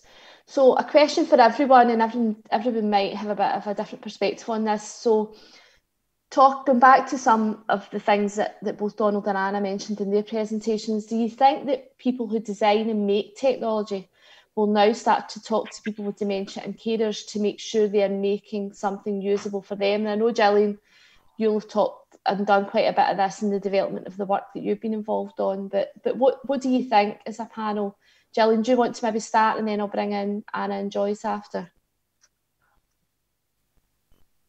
Yeah, of course. Um, our aim would certainly be to have people with dementia co-designing these pieces of technology. Um, what the difficulty is when you're talking about companies like Amazon, Samsung, Philips, they're massive companies, um, and the, the percentage of people living with dementia who are users of their technology is not the primary market necessarily.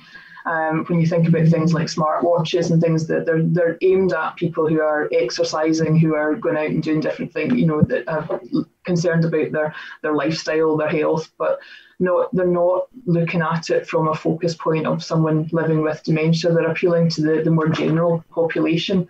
So that's always going to be a bit of a challenge, but it's not to say that it's one that we shouldn't tackle. Um, what we have found is that where we have found someone who has had um, lived experience of dementia, where they've had a family member who's experienced dementia, the, the level of care that goes into the design of products really shines through. Um, so we've seen, um, you know, kind of some smaller organisations, things like um, the, the proximity um, device. Um, so Natalie, who, who um, developed that, has experience of a family member living with dementia, and the, the care and attention to detail that has gone into that is so much more. So I think sometimes the, the key is to find the right person within these organisations and to find someone who has that personal experience and understanding of what it means rather than just um, you know kind of looking at that that more g- generic build of a product. Okay, thanks, Gillian. Anna, have you got anything that you want to add?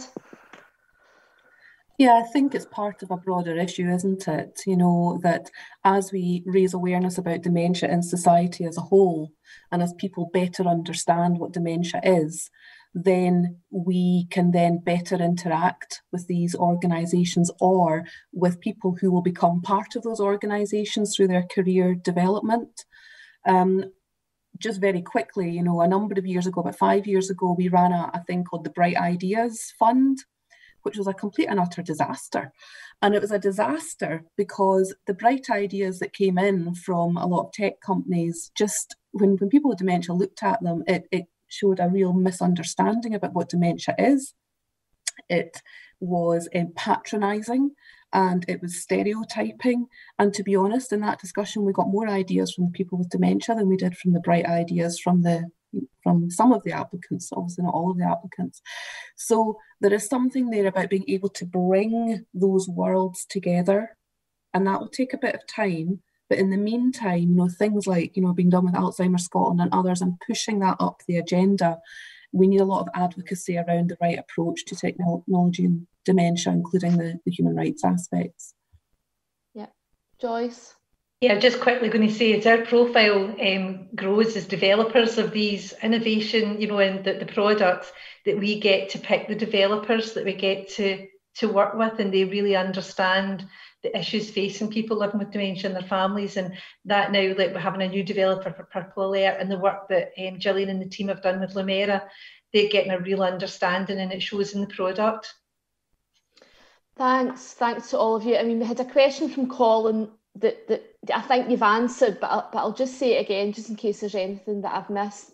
Um, he's asking how we can build scalable and sustainable mechanisms that allow people living with dementia to co-create technological solutions because there is so many ideas and projects in development. But I think from what you've said, you've answered that. I don't know if there's anything else that people want to add before we close the panel session, just some final thoughts. Can I just add something to that, Arlene? I think when we talk about scalable, we need to talk about what we mean by scalable you know, do we mean scale up? Is that what we mean? Or do we mean scale out? Because they're two quite different things. So if, for example, you're taking, you know, Dementia Circle, for example, you know, that has a local base and then it's got a link, from what I understand, Joyce, onto the website.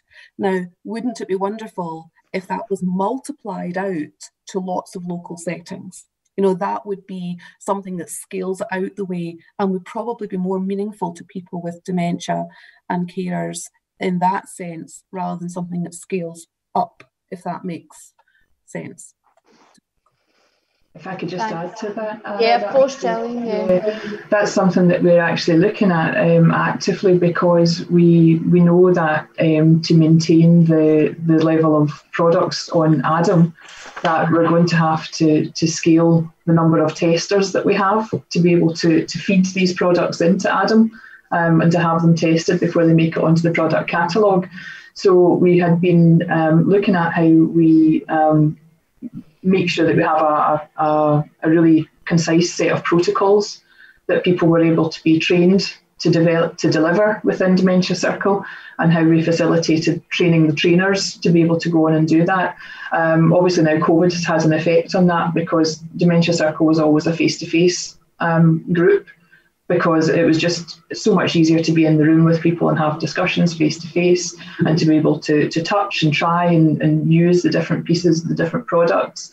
Um, but we're working on how we're going to be able to do that in a, in a more remote way and how we, that we can scale that up. So that's something that we, we hope to have some news on soon. Thanks, Gillian. Okay, well, I have to say that's um, us at the end of our panel discussion. Um, we're running over time, but that's okay because it's all really important information and discussion and debate.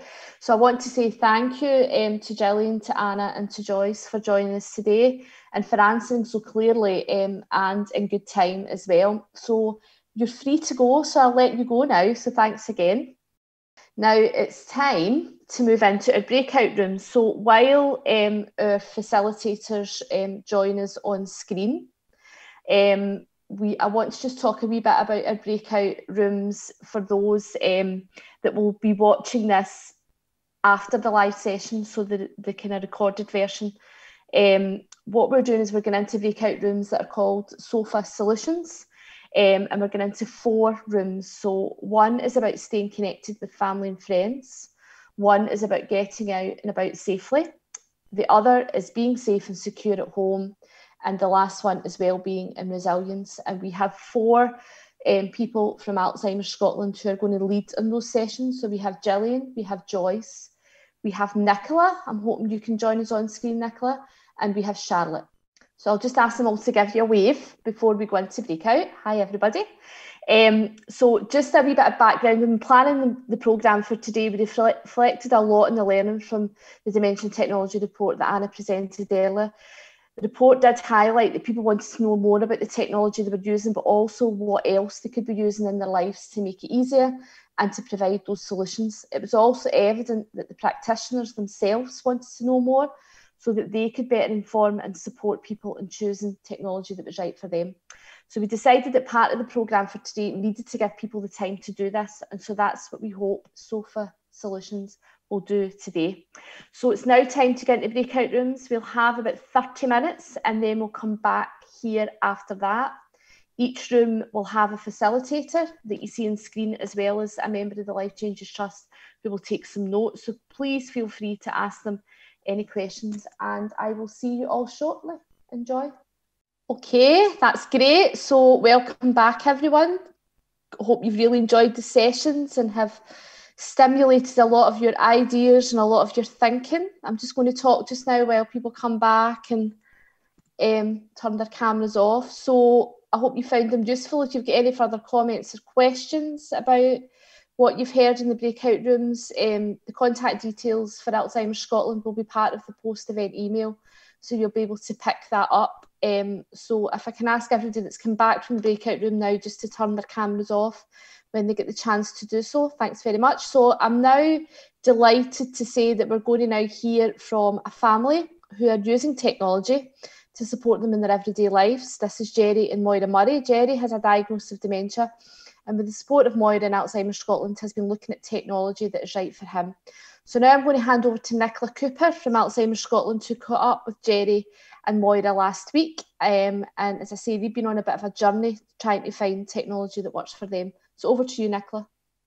Thank you so much, Jerry and Moira, for joining me today to talk about how technology can be used to assist people living with dementia and family carers in their day to day lives. First of all, I want to ask you thinking back before you tell us about the technology you're using at the moment, how did you feel about technology in general? I felt in the way it was actually holding me back. I was more likely to regress to older things like iPods, you know, and even even t- eh, telephones. Thinking about going for a really basic phone to see if that would make it easier. I just felt that even just looking at tech it was actually quite stressful for me. Very I stressful. I didn't know what I was doing with it. Didn't it just as if it actually had passed about twenty years or something. It seemed to be a big, big difference of it. For me, it was absolute fear, terror about the technology that's available now because it's just changing so quickly and so fast. And I knew that there was technology out there, but just don't know where to start and don't know where to to begin, you know. And we've got a few bits of technology, but we're not using it properly and we're not using it and we just need guidance and, and, and what to do and we're sure we both have real faith that it can whatever's out there can work for us you know but not at the moment not not until we're, we're sorted. Hmm. So there is so much technology out there How did you find that process of looking for the right technology to match your needs?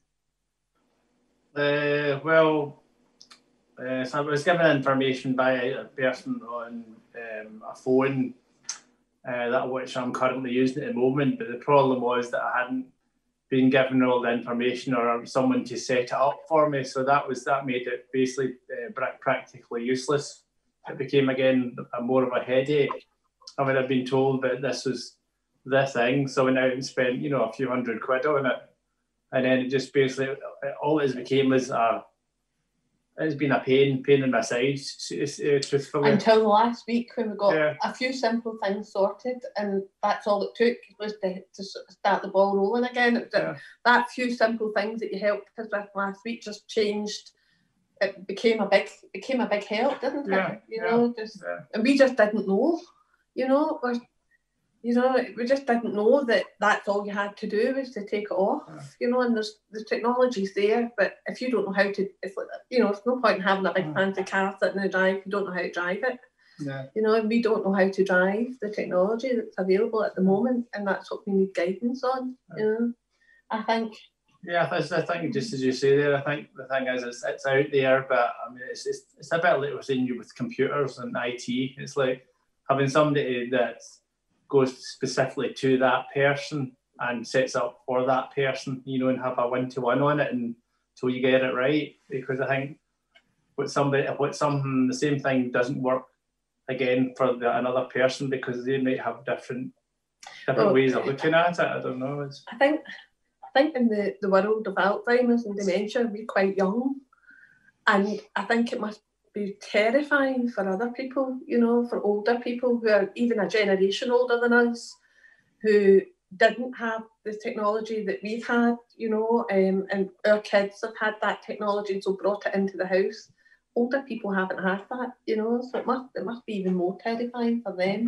So just that you just become you just put up a wall and just say no and just live, you know, isolation and yeah. when it when there's so many things like, you know, Zoom calls and things like this that can put you in touch with people, you know. But we've been reluctant. We've just yeah. become, I think, just putting up barriers and just saying no, you know. But yeah. not now.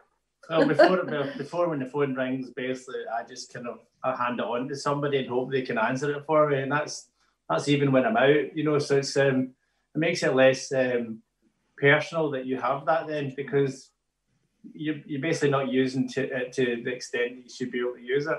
You know, it's just, and it's just, mm-hmm. it, it really messes with your head.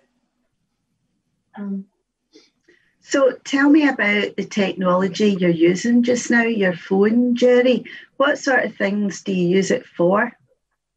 Uh, generally, obviously, if I can get a, a, call out and a call back to me, it's just it's handy for me. Obviously, if my wife's trying to co- my wife's trying to contact me and we're trying to contact each other. You know, I don't want to get if I get um, waylaid or uh, over, you know, go out for a bit of a walk for a bit longer than that. You know, and then she maybe get worried, and then so if I can't contact her then, or she can't contact me, then it, it, it causes stress within, you know, persons. But we use the technology, the technology that's available, and we can use it. We hope to use it for everything. You know, like. Um, because I'm doing more and more for Jerry, I'm forgetting things all the time. So I need to start reminding myself, you know, putting writing things down. And I, I, I've got, you know, bits of paper that I write things down on all over the house, you know. Um, I think I could probably start using a pad um, or something. My, well, you putting my phone to better use, putting the technology that's out there to better use. Um, but we use it, but I use it for looking up everything, you know. Mm. But because we've got the added sort of problem in, in with my hearing impairment and Jerry's visual impairment, we're trying to find something that can help us both you know um so like jerry can't just phone me he's got to text me and he's got to work out how to be able to send a text with his phone and not being able to see the keypad and we've got to use voice technology so that's the sort of thing that we're hoping you know, that, that it'll work for better. Yeah. Once we get it working properly, much much practice. Think. Okay. So would you say it's made a difference to your life so far? Uh, definitely. Yeah. Yeah. Basically, that usage of my phone is is much easier. You know, I've had someone looking at technology that we had and how to use it better. So it's, so it's just a matter now of just basically, you know, keeping on it, you know, and for trying me trying to remember it, you know. Uh, but I, I'm definitely using it more uh, than I initially did. I was I was basically was basically just wanting to stick it under the pillow in the bed and just hoped it didn't ring because it just feels like you've got to call it back, you know. So uh, it's, it's just te- technology is difficult, you know. It's, I mean, I mean the thing is, you look at your kids now, and your kids are actually all doing thousands of things at the same time, and you kind of look at them and it's you just feel a bit. Um, I'd never go that. You're a bit lost there. The kids are always going to be far ahead of you, you know, because they're using it for everyday purposes and maybe not always the ones they should be using them for.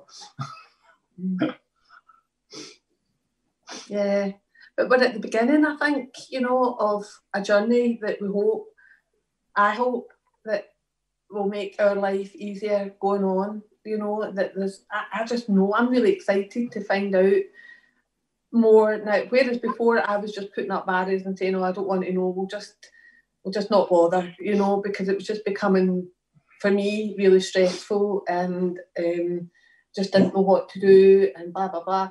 So I was putting up barriers and just saying, no, like Jerry was saying about the phone, we'll just get a basic phone and a basic this and a basic that, and we'll not bother with anything else. But now I'm kind of thinking this could actually be okay, you know, what was an otherwise stressful situation.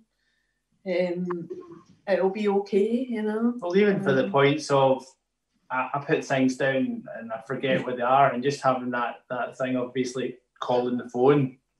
And, Yeah, the, call, and and, the, able and the phone then alerts me that it's it's Yeah. nearby, you know, because it rings to me. You so can say, "Hey Google, ring my phone," and um, it'll ring the phone. It'll make the phone ring without actually phoning it, so it just makes it make a sound. Yeah. You know. Um, and, and then if we if we lose it within, you know, we've figured out, or my wife's actually figured out how we can actually make it ring as well, you know, just to tell it so it can be somewhere in the whole house because then my wife doesn't hear the it actually it ringing anyway. So basically, at least I, can- I can find her phone as well, and then she can use it uh, visually. So it's um it's wee, wee tricks that you're finding, or they are making things, you know, definitely making it making it easier. But that's, Mhm. you know, it's, it's just keep on and try and practice and just try and keep keep that that in your head. Then, to be truthful, so becoming a bit more manageable. I've got to say so. yeah. Yeah. So, do you have any advice for other people with dementia or family carers who would like to use technology to assist them? Uh, I think well, I think what I've found out so far is that, is that you know there's there's a few. Don't just take the first person that's going to tell you something that's going on. I think find somebody that's specific, and then it can actually basically write a a kind of book book for you. You know, because I think it is very it's very personal. Even between my wife and me, we you know we we have different needs you know, and for uh, contact and uh, talk to other people. And I think uh, don't don't don't go out right away and um, and buy something because you, you might find out you know that we did initially you, you spend a lot of money on the phone and then you know at first Might then, you, right. then you Try bas- it if you can. Yeah you, you get someone who's uh, basically have there's a uh, well, like a resource centre where we down in uh, Helensburgh, you know, they have like a, kind of tech bit there, you know, and you can ask about it and you can find out a bit more information, then someone can talk to you about it or and other, you know, I'm, I'm sure there's a couple of different places that you can pick up technology. But I mean, you, I think, think you really you've got to try it out, be able to try it out, you know, and try it to see if it works for you, and then get people to make it work for you the easiest way Mhm. that you can for you. It's going to cost you. Other than that, it's going to cost you. It's going to cost you a lot of money, you know, for something that you might end up actually sticking in a pocket, you know, in your your I mean, everybody, f- f- when- for me, everybody had loads of advice to give us. All different people had loads of advice. For example, I phoned um, Vodafone.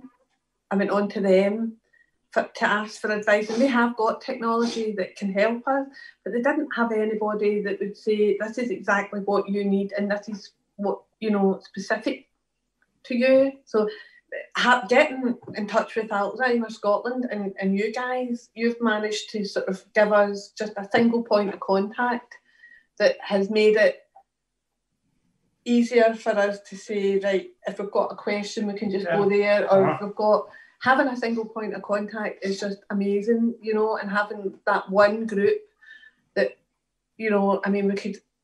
Jelly, we've got a we've got a twenty year old daughter who can give us advice. We've got a neighbour across the road who's got loads of technology can give us advice. We've got, but they don't know what Jerry's specific needs are, you know, and and you guys are aware of that, you know. That so that for me, I, I would get advice from difference. The right people. Go to the right, go to Alzheimer's Scotland and ask them to point you in the right direction or whatever. I don't know, but all all the I, I just got so stressed out with going to Virgin and Vodafone and all the different companies individually myself, and it just got.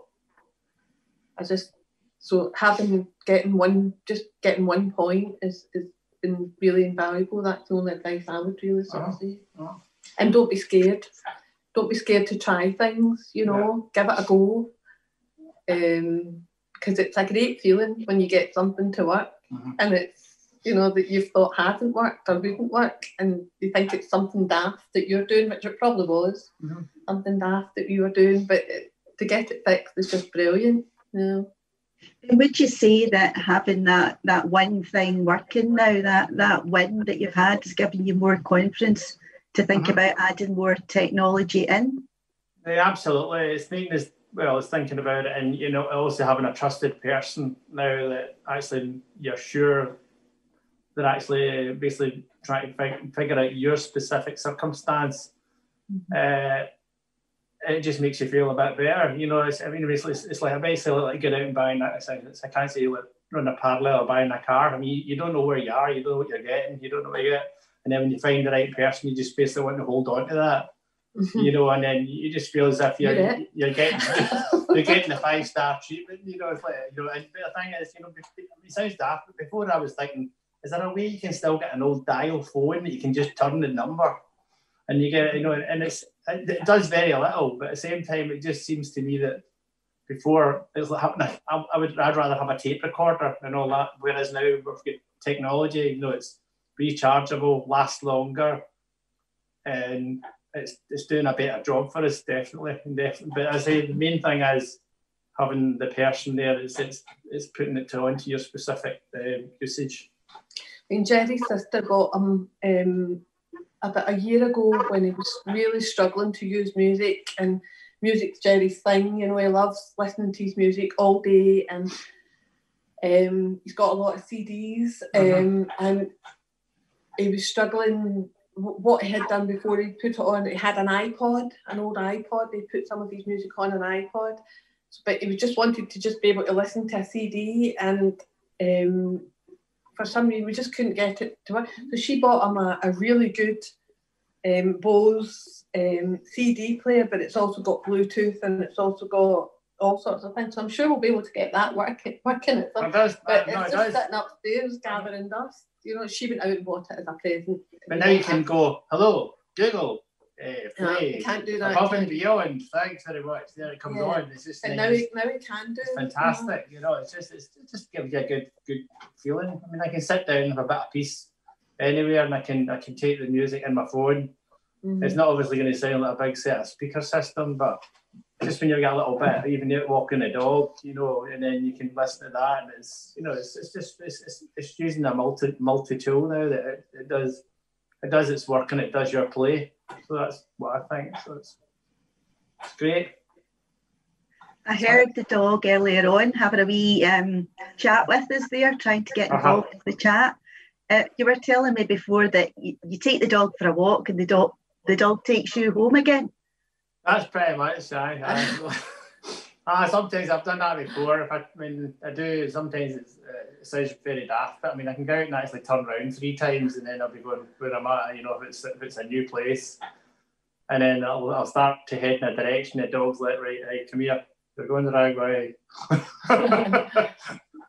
so, uh, I no, it's good having the It's good having. I've just started to use that um, Find My Way Home, which is on the Google as well. So that's that's quite that's quite easy after a couple of minutes, you know. So um, then as well if, the, if it gets dark slightly. Have you which- managed to get that to work? Ah, it's quite good. Aye, so it gives me the general direction I'm heading back again, you know, and it's voice activating, telling me that I can I can head home this way or that. You know, it's it's not obviously like military spec, but uh, it will it will get me to home, get me to home, and then at the same time, you know.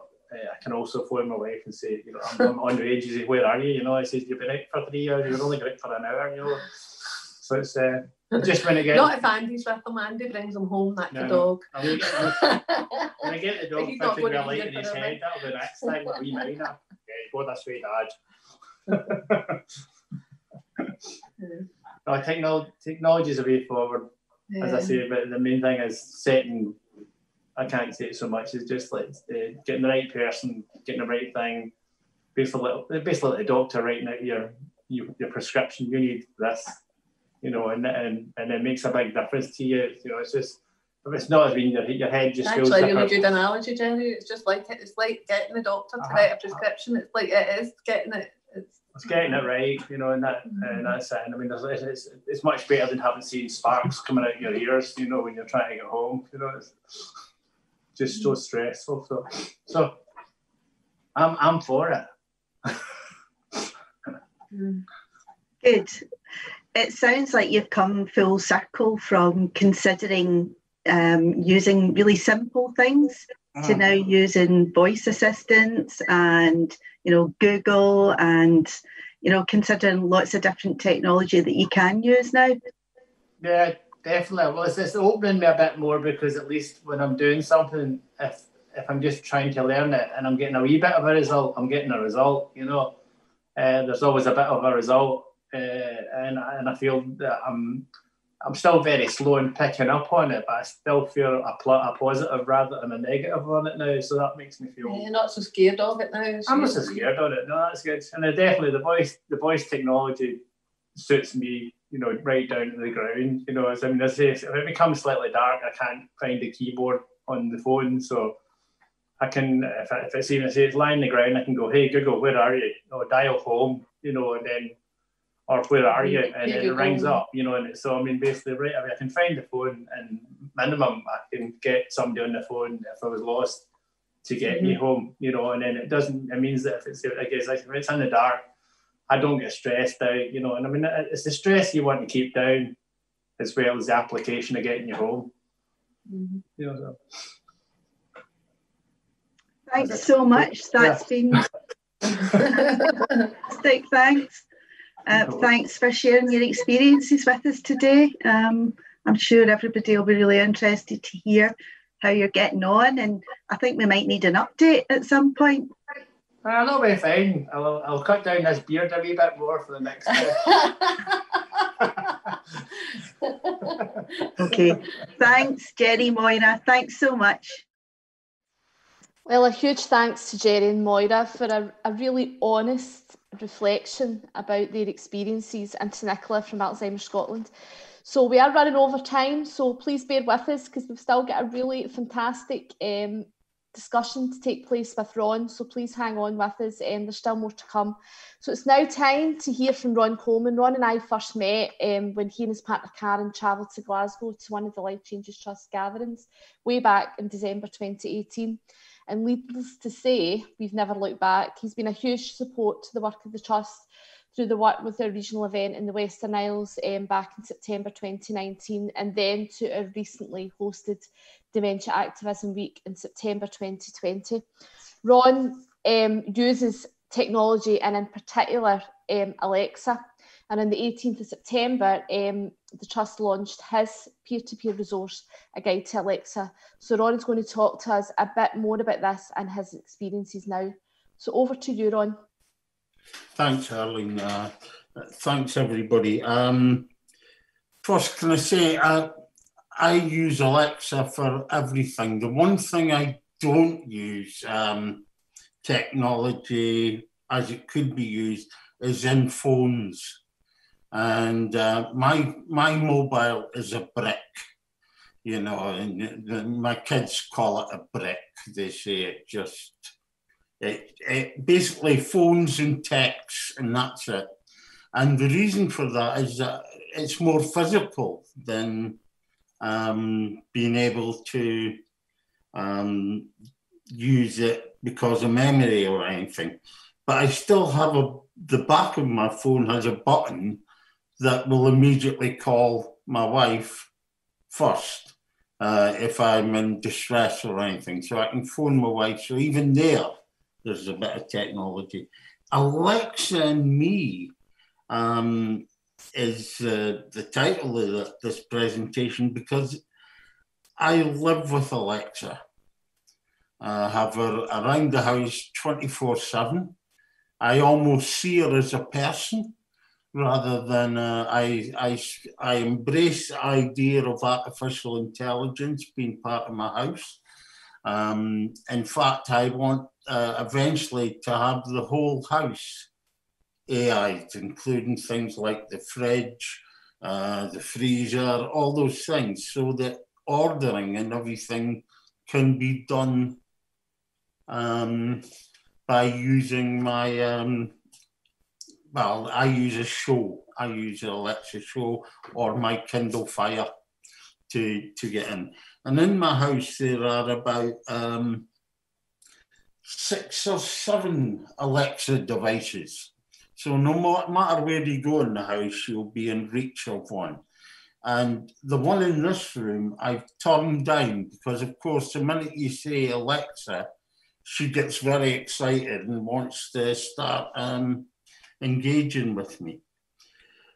I, I, have been listening with fascination to a lot of the things that was said today, and I was thinking uh, when I was on the last session and Nicola was talking about um, Alexa and how they use it, that like her, I looked at all of the different possibilities and came to the conclusion that for me, Alexa was the way forward.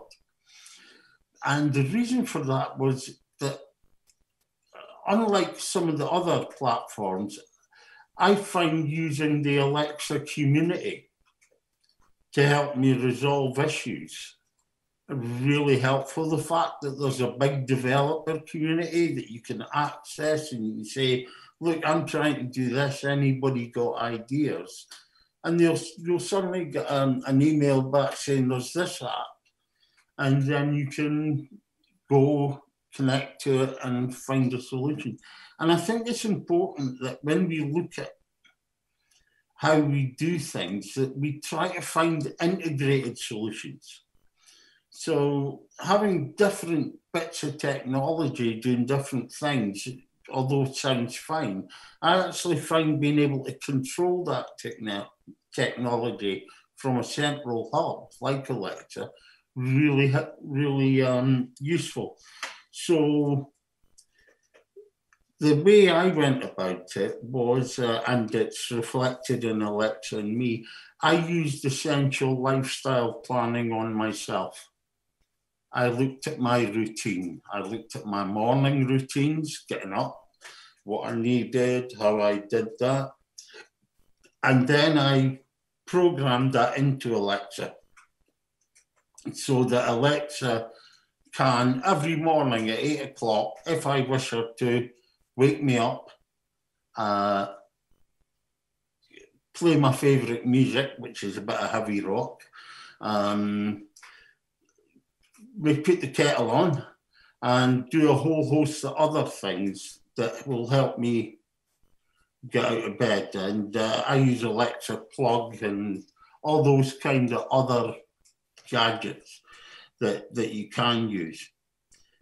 I think also Alexa is brilliant because the, the initial use for me was actually to help create a virtual memory you know, because um, the, the, for me, there's two kinds of memory. There's uh, a virtual memory, which is uh, information, and then there's my memory, which tends to contain a lot more emotion.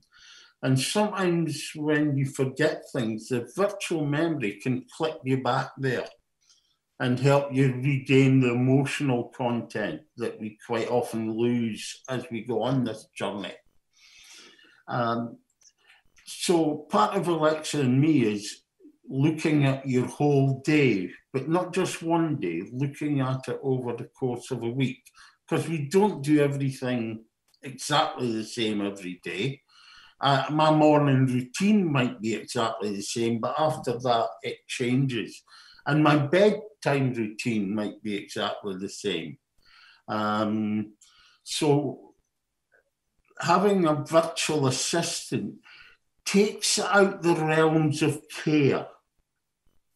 And I think that's important for me in terms of autonomy and makes it about um, my Alexa is about Ron Coleman, it's not about anybody else.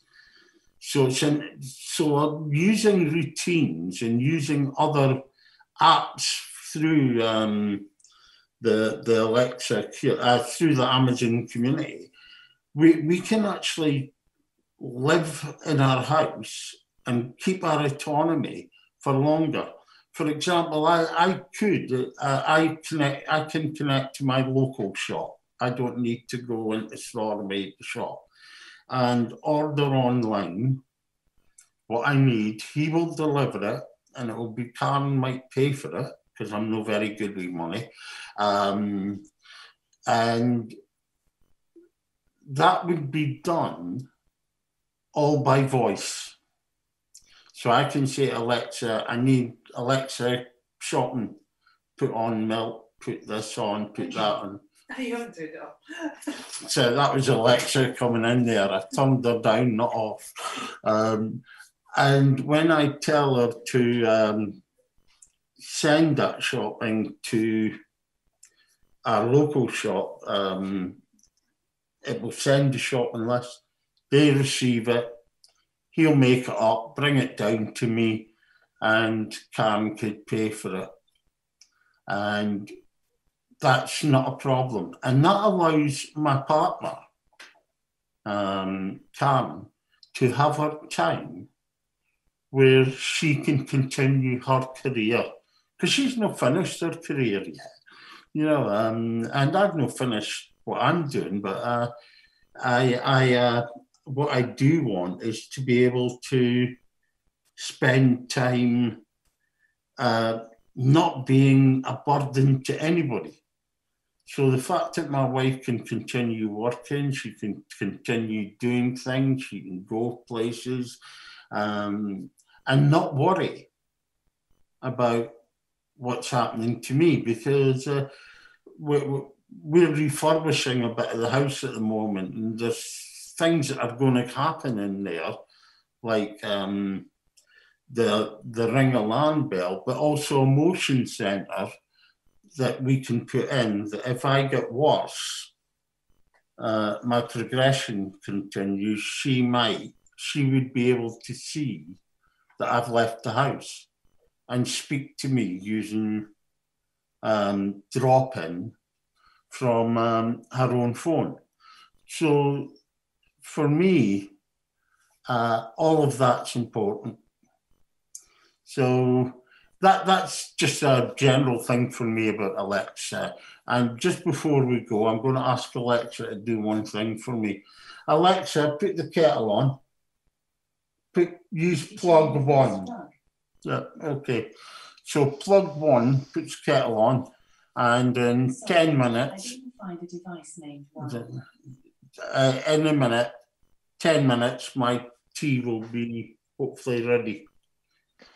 Fantastic, Ron. Absolutely fantastic. And as always, it's a real pleasure to talk to you about all the work that you're involved in, but in particular, you know, the real benefit that Alexa has had in your life and has given you that, you know, that autonomy, empowers you, as you say, to, to be leading and driving um, your own life rather than, you say, that kind of being cared for aspect. So thank you so much.